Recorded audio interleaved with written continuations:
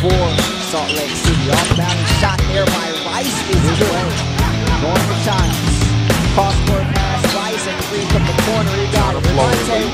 Hey, he's seven foot out there against a six-two dude.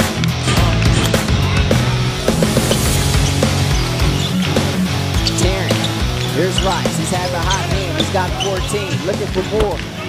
Add a couple to it.